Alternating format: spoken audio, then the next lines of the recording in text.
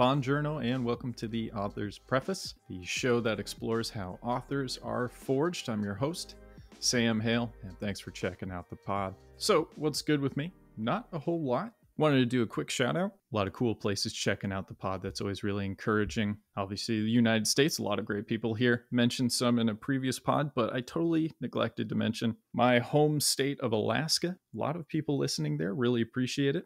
And I actually had fellow Alaskan Robert Stark on a few pods ago, and he wrote an excellent exploration of his own experiences at war and back on the home front, returning from Iraq, called Warflower, which I strongly recommend.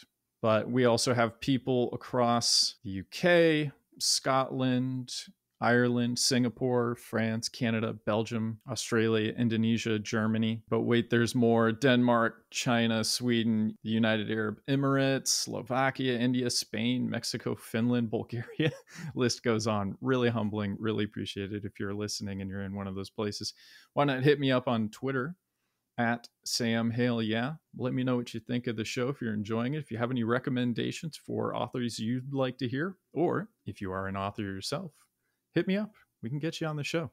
And if you are enjoying the show, rate and review. It's always appreciated. This is a continuation of a previous podcast with author and educator Jacopo Della Quercia. Really enjoyed that first pod discussing the monomyth and using Star Wars as a bit of a case study in analyzing the monomyth, the hero's journey. But who is Jacopo? In case you missed it, historical fiction, comedy, satire, academic fiction author, known for publications such as the Great Abraham Lincoln Pocket Watch Conspiracy, License to Quill, and MacTrump. He has been awarded various grants with the Humanities New York, the New York State branch of the National Endowments for the Humanities, and he's been featured in numerous publications such as CNN Money, the Huffington Post, Politico magazine, as well as BBC America. Jacopo has degrees in history and political science. He enjoys video games, good man, board games, film, reading, and taking long walks think that's just a prereq for writers. If you'd like to find out more about Jacopo, you can go to his website, jacopodellaquercia.com. Also on Twitter and has a lot of fun, amusing tweets, insightful ones, political as well. Just really interesting stuff. And that's at Jacopo underscore della underscore Q. And now I get to do something I have been waiting years to do. I'm a historical fiction writer, among other things, obviously, and a lover of podcasts. So, surprise, surprise, my favorite podcaster is Dan Carlin of Hardcore History. He actually, with his Punic Nightmares series, inspired me to write the novel I'm working on, which depicts a scrappy band of survivors after the fall of Carthage in 146 BCE, after the third and final Punic War between the republics of Carthage, which is based in modern day Tunisia, North Africa, the Maghreb, and Rome, who you may have heard of. But Dan's had an immense influence on my views, not only of history, but on how to interpret it. And so, as a bit of an homage, I thought I might emulate him whenever he's doing one of his series and you get to part two or three or four, and it goes a little something like this. What you're about to hear is part two in a two part series. If you're a bit of a masochist and you feel like just skipping the first part, by all means, but if you'd like a little bit more context, understand who it is we're talking about today, then check out part one of this two part preface on author and educator Jacopo la Quercia. Thanks, Dan.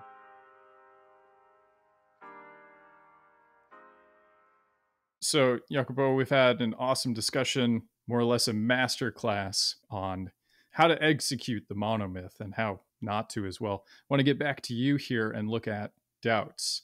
Were there any doubts, obstacles, anything that was keeping you from taking writing, whether it was fiction of, or some of your more academic work? Was there any sort of roadblock keeping you from taking it seriously? Well, one thing that definitely got in the way with my higher education is um, I was accepted into um, the Graduate Center at um, CUNY, New York.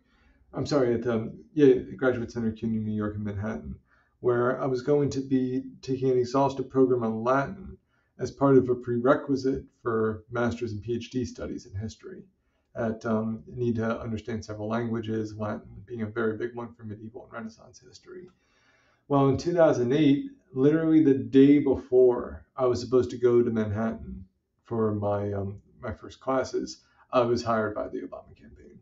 Uh, I need to clarify that I was brought in as um, basically an internship for the Obama campaign that led to me working full time for them. So um, I spoke to the people at the school. They're actually very, very supportive. They said, um, "Go, hope your guy wins." So I did that. Then one year later, I reapplied for the same program, and this time I was given a scholarship to study with them. And that time I did go. However, that was the summer of 2009. It was during the uh, very beginning of the swine flu pandemic. And I was one of the first people that my doctor in Pennsylvania knew of who got swine flu twice. Hmm.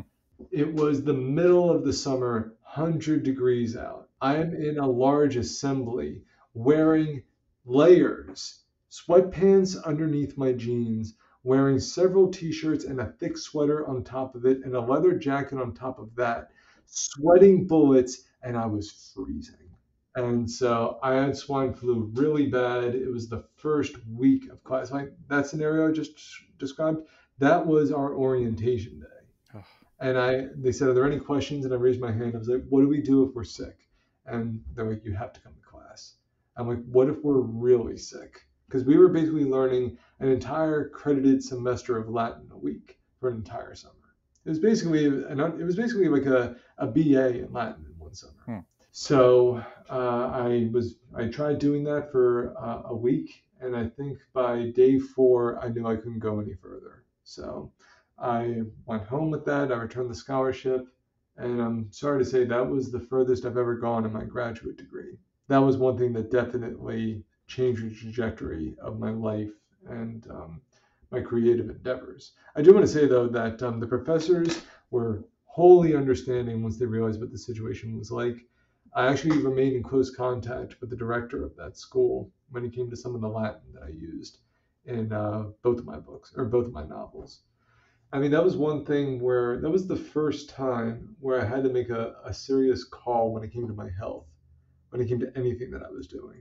The truth is that that summer was a it was not a wake up call. It was rather the first of several real body blows that my body was going to be taking when it came to health.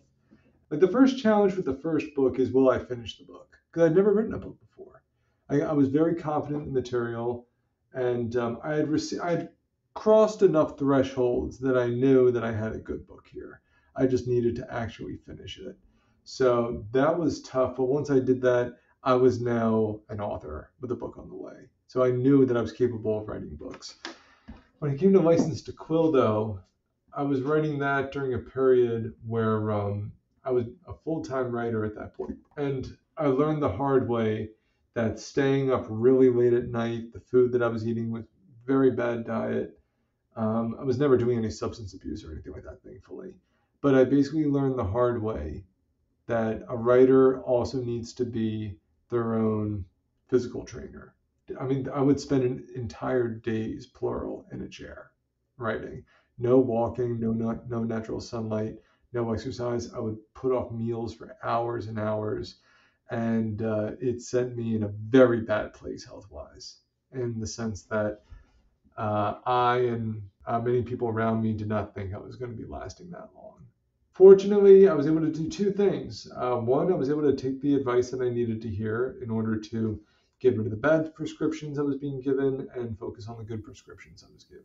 Mm-hmm. And I was able to um, get out of it. It looks like the one thing that was really bothering me was acid reflux yeah, in particular. Because with acid reflux comes sleeplessness, comes panic, anxiety, all these other things.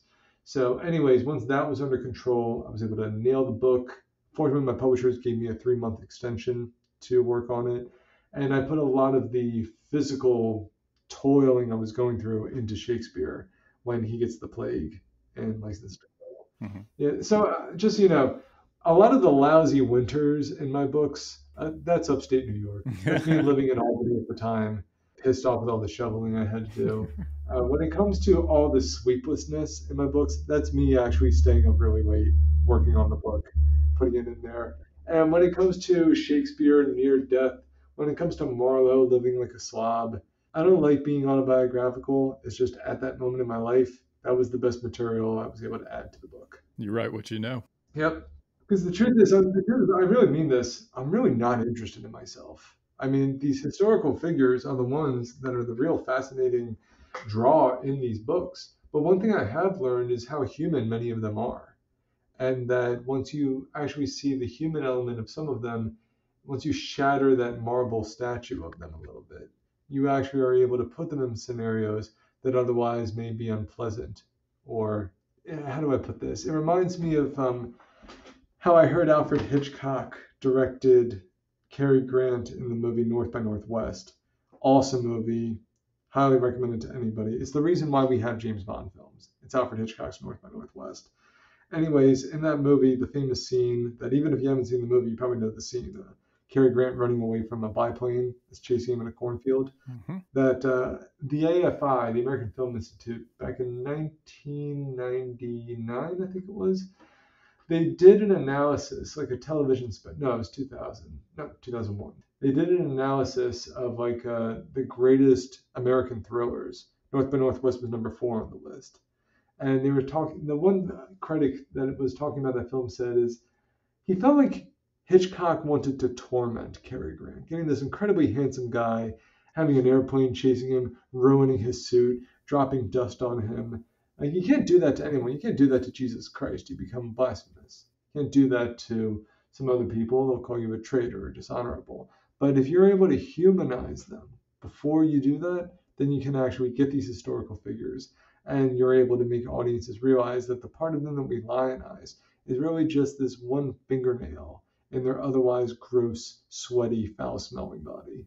I love that. I was looking at your preface within the doubt section.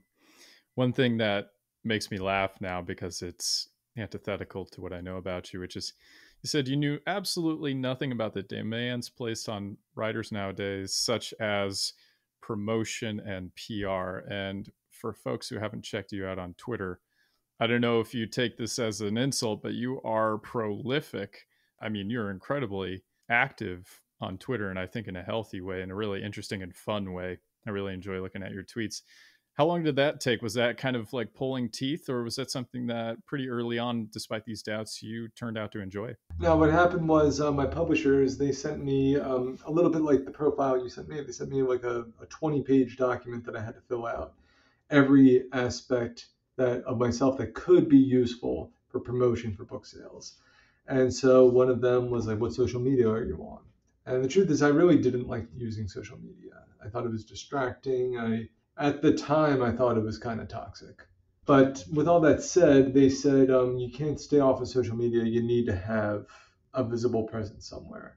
So I looked at several options there. And the truth is, I would have loved it if I created a YouTube channel, but I just, I just didn't understand video editing. It was before there were a lot of tutorials on YouTube, so I wasn't able to learn on the fly. So um, I put together a Twitter account, and um, over the course of two years, I was able to figure out how to translate the following I had from the online comedy writing that I was doing for the comedy website cracked.com. A lot of them didn't know I was on Twitter, so I was able to find a way to funnel that in there. But at the same time, I was able to find many things that I liked about Twitter. Like I really liked the writing community that they had. I really liked um, putting out sort of writing assignments for people. I would put an image, add a caption to this. You're writing a novel where the chapter is this, what happens next. I would also put together these very detailed scenarios, which I had the hashtag pop quiz hotshot, where I would ask writers to basically write what happens next in the scene using this premise. And uh, those were things that I really did enjoy. And I actually made some friendships on Twitter. Um, I helped some other writers, had some collaborations. A few times I was, able, I was able to help some people in need. And there were other times people were able to help me at that moment. So, all that together, I was able to use Twitter as um, my primary uh, social media uh, mouthpiece when it came to books that were coming out. Um, I will be honest, um, uh, the way that Twitter is right now, I'm basically spinning a coin on the table every day over whether I deactivate my account right now. Mm-hmm. I know that NPR recently quit Twitter permanently, and I do want to say though that uh, there's many writers uh, aspiring and published that are really that actually are suffering right now when it comes to uh, the current trajectory that Twitter is taking. Uh, primarily non-white authors, uh, many people in many of the subgroups on Twitter, where they've created fantastic communities for sharing books, sharing writing material, building friendships, etc. And so many of them have disappeared as quickly as the blue check marks by their name. So I don't know where Twitter is going to be going right now, but if anyone is listening, my advice for anyone, go on TikTok. Like that's where if I were starting right now, if I was given that cue, if I was given that questionnaire, and if I was told um, you don't have anything, you need to create something, I would probably start on TikTok.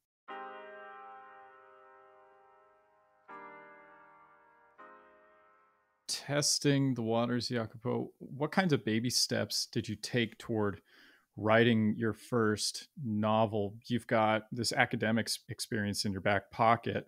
How much did that translate over? Like you mentioned, you felt pretty confident was there really any testing of the waters or did you just run headfirst at this thing well i mean naturally i didn't write the when it came to my first novel the great abraham lincoln pocket watch conspiracy i didn't write the whole book and then like send it to a publisher and say i want to be a writer no i had several ideas for my first novel and that was actually not the one at the time i was really pushing but uh, my agent at the time wonderful woman um, sarah crow she was able to explain to me that um, this type of book would be very desirable right now. She was explaining to me the benefits that it would offer in terms of marketing and uh, advances, etc., and also opportunities to publish would be best if I were to be writing this book.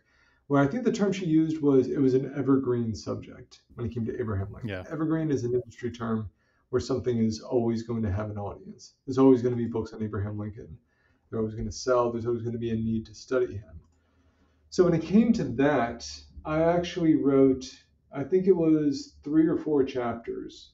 I wrote the first chapter with the help of a friend of mine who's a, a mixed martial artist, where we studied karate together and we basically choreographed a scene together that I was scripting, which would become chapter one of the Pocket Watch Conspiracy. And after I had that, I wrote um, the next two chapters, I think over the course of one day, which I actually now know uh, as a writer is actually a lot to create. So I had about 20 or 30 pages of this that um, I was sending to my agent at the time, who I'd already had interviews with, already spoken to her on the phone, already sent her like you know like one to two page synopses of book ideas that I could write.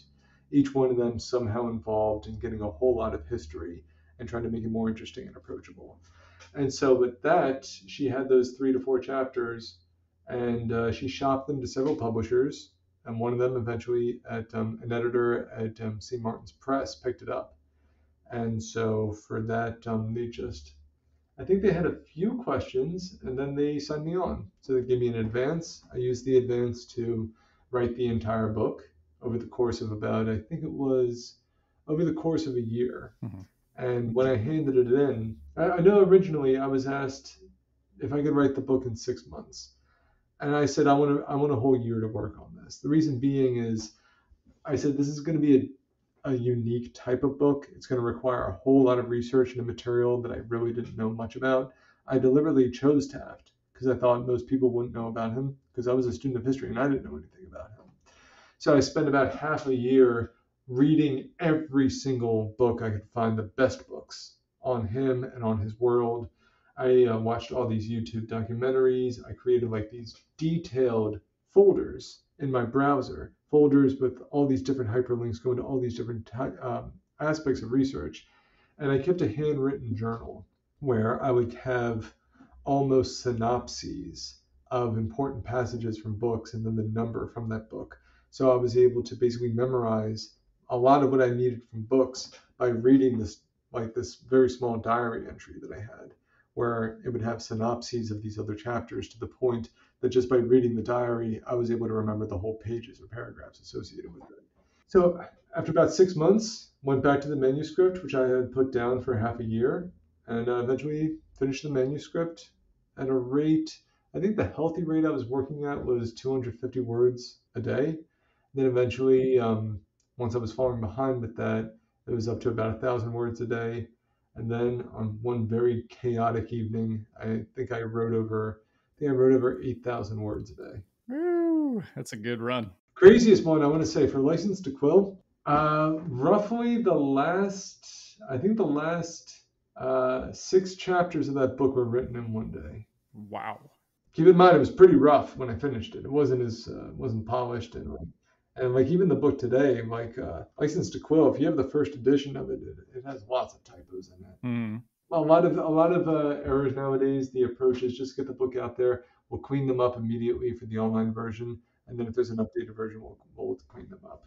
That manuscript, I mean, like I said, when I wrote all that in one day, it was covered with blood and sweat and pustules and hair. It was it was pretty bad. And Bubos. Yes. uh, real quick, because I want to get to something to do with research, but apocryphal or true? Taft's bathtub.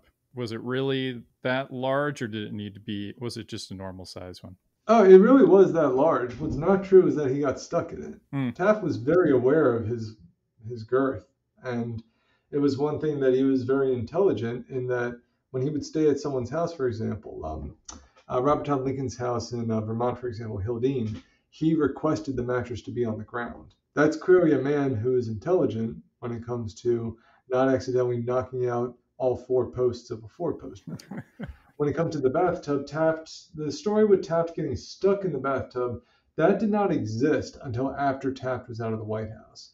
Now, the problem is it has a very detailed paper trail. I have an excellent book from Oxford University Press where they say that actually happened. And they have sources backing that up, good sources. Problem is, it's not true. Hmm. It wasn't until uh, I think the last 15 years someone actually did the investigation, found out Taft never did get stuck in the bathtub.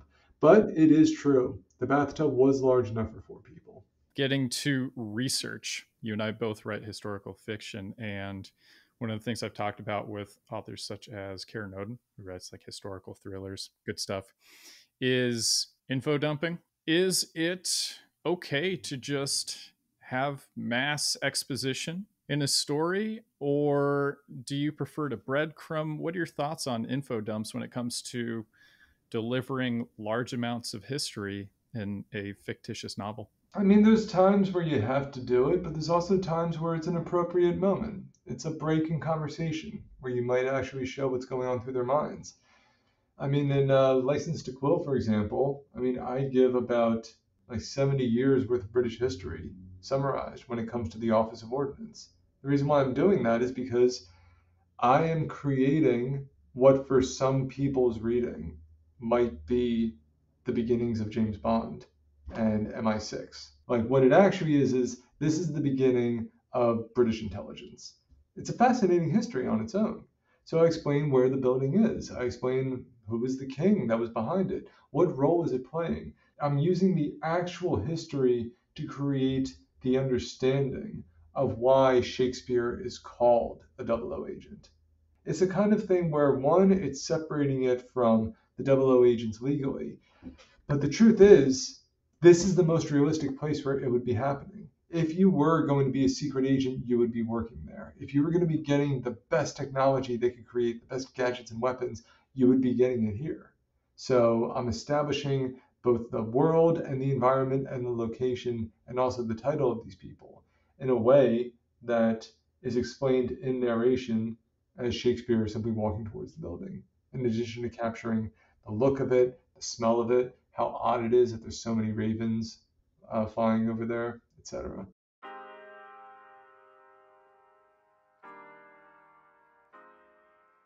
So we kind of touched on one of your setbacks being a pretty intense, two intense bouts of the flu, but what other sorts of setbacks did you encounter as you started to take the deep dive into writing fiction? Well, another big challenge uh, once you write a book this is there's no guarantee that anyone's going to know that it exists. I mean, every book that you write, every book out there is competing with every other book out there. I mean, it's competing with every film that came out that weekend, every commercial that, you know, billions of dollars are being invested in so that people will stop what they're doing and get that soft drink or eat that fast food burger. When it comes to like getting a person's interest, any book that you write is competing with all the pornography on the internet. that's a lot, that's a hell of a distraction. So um, I, I learned the hard way that when it comes to actually getting like major mainstream reviews and all those names, all those positive reviews and all those stars that you have on the inside of a book or on its jacket, that uh, it's very difficult to even get a good or a bad review because there's so many books out there and it's getting larger each time. And if people don't review your book, it's like it doesn't exist. And if it doesn't exist, then what did you just spend your last year investing in? And another thing is, um, it's a little discouraging once you realize that if you're creating, uh, if you are writing, that you have to keep on doing this whether you like it or not. I'm mm. much more interested in writing books because I want to tell the story rather than because I'm trying to add fuel to a fire.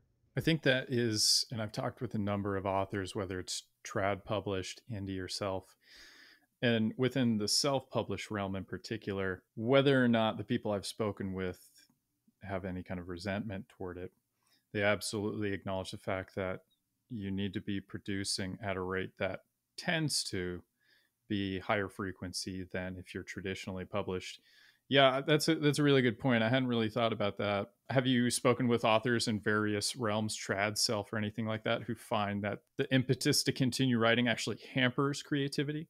Well, every writer that I've spoken to that's like, you know, been a New York Times bestseller, or every writer that I consider a very successful writer, uh, they are aware that, like, I mean, this is a career. And so they know that, guess what? If this is your career, you're going to have to continue to write books. You can't just, you know, write To Kill a Mockingbird and then just, you know, piggyback off that success for the rest of your life. It's an incredibly rare occurrence. I've never spoken to a writer who believes that they wrote a bad book.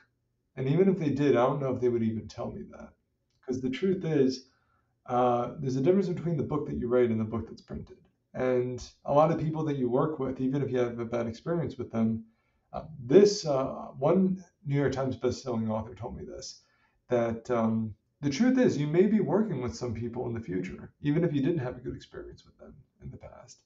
So for that reason, if something didn't work out, or if you feel that um, there was a need to really create that the urgency uh, interfered with creativity, that it's probably best for you to keep that to yourself and use that for motivation for your next work to be better. I mean, I'm lucky in the sense that, you know, because I am a teacher, because I, I live in a, a very beautiful and very inexpensive part of the world, upstate New York. This place is heaven if you work remotely for anybody. Um, I was in a position where I could focus a lot more on the quality of the work I was doing. Something else though is I was very experimental. I uh, I wrote short stories that were horror just because I wanted to see what it would be like. I really enjoyed it. Uh, I had already had a sequel planned for the Watch Conspiracy that I eventually realized, wait a minute. After I wrote after I wrote License to Quill, I was thinking there's a lot more that I could be working with here. And uh, there were some shorter works I was doing, some academic things that I was very interested in, and uh, some other stuff that I'm working on right now that I'm very interested in that took me in different directions. Ultimately, though, a book should be finished when it's done. It should not be rushed. If you cook something prematurely, it's not going to be a cake, it's not going to be pizza, it's going to be a puddle of goo. And it is possible to rescue something like that, but I'm much more interested in creating something with the best quality that I can with my abilities than doing something just for the sake of doing it. I mean, I'm willing to experiment. If someone invites me, if um, there's a good collaboration, for example, if it's a crazy challenge that I can make or if, that I can meet. My uh, third book, Mac Trump, my co-writer and I, we were asked to write that entire book in five weeks. Wow. We did it, and we did the whole thing remotely. And this was before the lockdowns, hmm. back when people were never working remotely when it came to writing a whole book. So that was very unique for me. Like we were the first people we had ever heard of that wrote a book on Google Docs without ever even meeting, without having even met each other. So that was um, when it came to that, that was a challenge. But at the same time, I was working with an incredibly gifted writer, Ian. Ian, if you're listening to this, you will always be my senior and my grader. But um, we had a big challenge. We were able to meet it. And um, the, the important thing is, we were working with people that were flexible in the sense that they understood what they were delivering and when they were delivering it. And if we requested a little bit more time, they were able to offer it to us.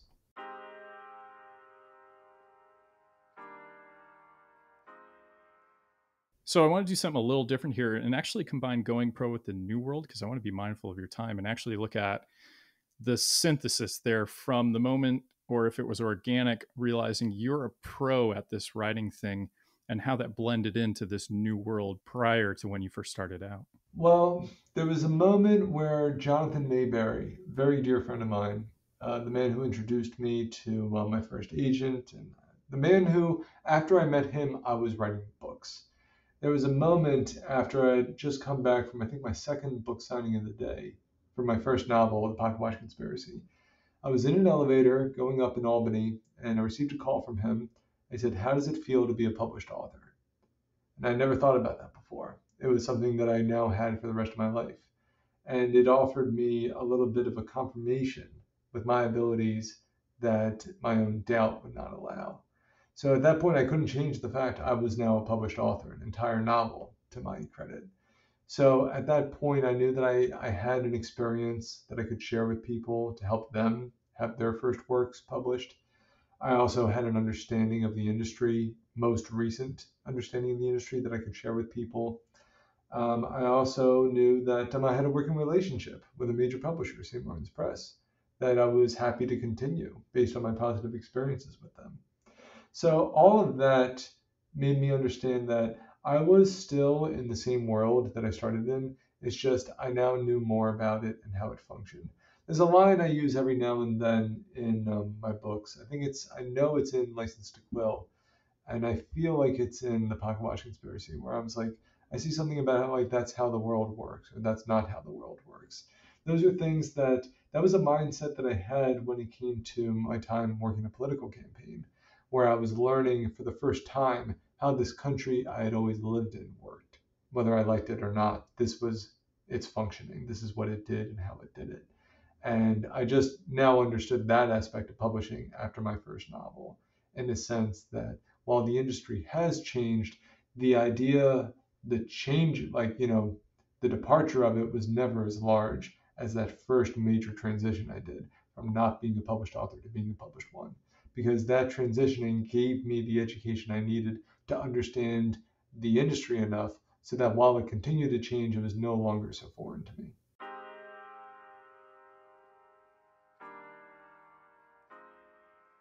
All right, goody time. You've got a lot of experience. We already had a great section, more or less a masterclass on the monomyth, screenwriting, storytelling, and all kinds of good stuff. Aside from that, Jacopo, what kinds of advice do you have for aspiring writers? A lot of people say that they're a writer and they don't do anything, by which I mean they don't actually write. If you are not writing something, you're not actually a writer. Now, it is possible to be doing things that are complementary to writers, and that can be anything. Just by living a lot, just by just by living a life, you are doing research when it comes to being a writer. If you're getting a bottle of wine, you're researching what your characters might be drinking like you know if you're reading a book if you're going to the movies if you're going for a walk i highly recommend go for many many walks whether you're a long-term writer or if you're just getting started in this walking one you need to do it for your physical strength if you are a writer because when you're writing almost always you're going to be seated you need to compensate that by walking a lot but um, if you're a first time writer and if you're just getting started at this uh, the best advice i can offer you is write something that you would actually enjoy reading. Because if you don't like your book or your article or your story, other people are going to see through it. They're going to understand that this author did not enjoy it. And as a result, that may not have been the thing that you should have been authoring. Write your own stories, write your own books. Don't tell other people's books, let them do that. Put your own unique spin on things. Create something that you yourself are proud of and that you yourself would enjoy consuming. We talked about so much and also got to geek out hardcore on Star Wars and so much fun. Loved everything that we discussed here. So, Jacopo Della Quercia, thanks so much for sharing your preface with us today. Privilege and a pleasure. Thank you for having me.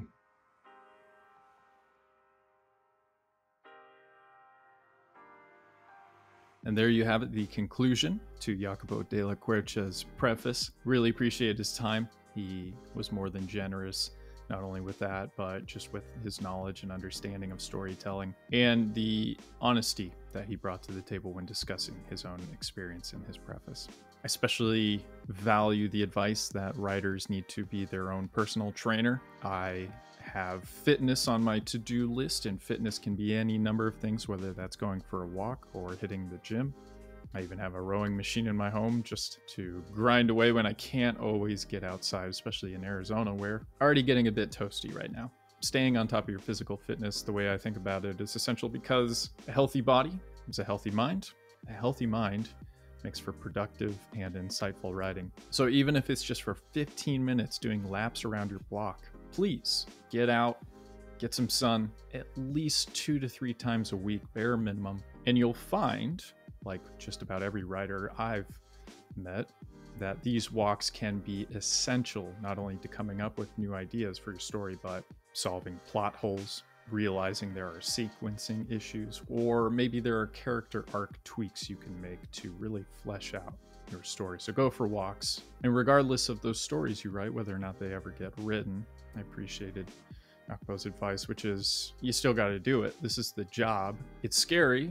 You put years of your life into writing sometimes just a single book, and there's absolutely no guarantee it will ever launch in any meaningful sense. It's something I think most writers, myself included, butt heads with, which is the love of the art, the love of the game, but also a very normal human response, which is to want some sort of validation for all your hard work. Thanks again to folks listening literally across the world. Really appreciate it. If you'd like to throw me a shout out, suggestions with authors, or if you'd like to be on the show, at Sam Hale Yeah on Twitter.